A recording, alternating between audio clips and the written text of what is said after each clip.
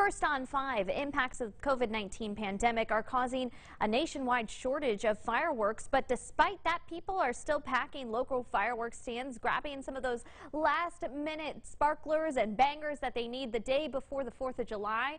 Gabby Easterwood is in Mobile County at Jerry's Fireworks, where Gabby, things have been really busy.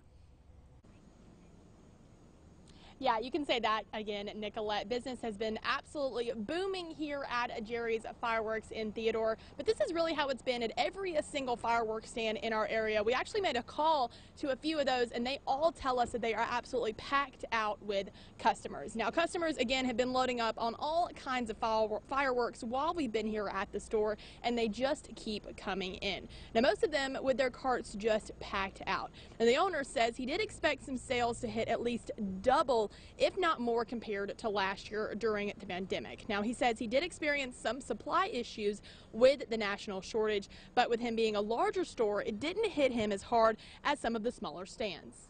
I ordered my order in February. Didn't get it till May, okay?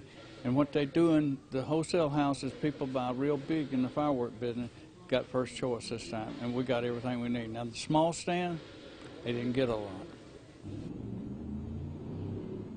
Now, Jerry says he expects even more people to pack into the store here tonight and before dark tomorrow. Now, if you're more of a person that likes to watch the fireworks rather than set them off and buy a big load here at Jerry's Fireworks or one of the other stands, we have a long list of fireworks shows that are going on across the Gulf Coast on our website. So be, be sure to check that out at WKRG.com. Reporting live in Theodore, Gabby Easterwood, WKRG News 5.